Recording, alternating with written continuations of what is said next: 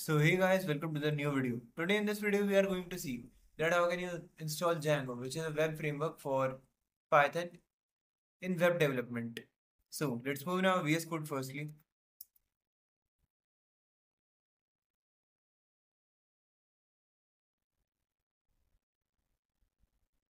Now we will create another file here which will be like test.py. Okay, here we'll be uh, doing our stuff. Now, firstly you have to do is uh, just type pip install Django. Pip install Django, Django. It is pr pronounced as D, uh, Django, not Django.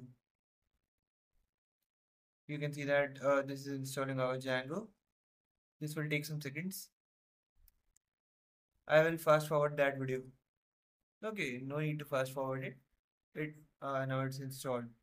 So now what you have to do is we will be use our test.py file for testing that our Django is successfully installed or not. So what we will do is just a second. You have to import Django firstly. Import django. And after that, you have to print the Django version in version. We have this one. And we can also add a statement like current Django version is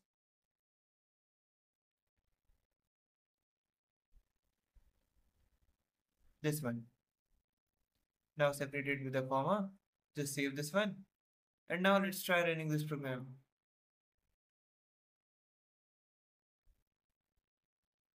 You can see that there is no warning. That means our Django is imported successfully. And uh, this statement will show your Django version. And, and you can also see that our Django version is 5.2.3. So that's it for this video guys. Now let's see you next time.